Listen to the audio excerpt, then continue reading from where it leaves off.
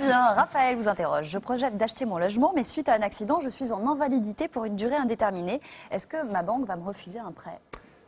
S'il y a quelques chances, c'est là. Si la pension euh, d'invalidité est trop faible ou c'est insaisissable, beaucoup d'allocations d'adultes handicapés notamment, même si euh, il est défaillant au niveau du remboursement, la banque ne peut pas se servir dessus.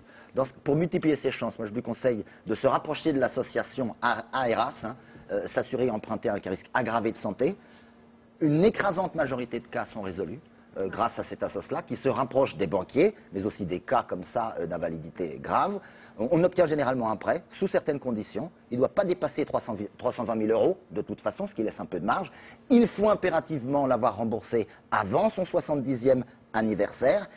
Et le plus ennuyeux tout de même, c'est que les banquiers vont prêter, mais à condition de prendre une assurance d'essai, pour le coup, qui va coûter très cher. Ça coûte 3, 4, 5 fois plus cher qu'une assurance normale. Ah ouais. C'est-à-dire que payer 0,20, 0,30, 0,40, ça peut aller jusqu'à 1,5% du montant emprunté, ce qui fait très très cher.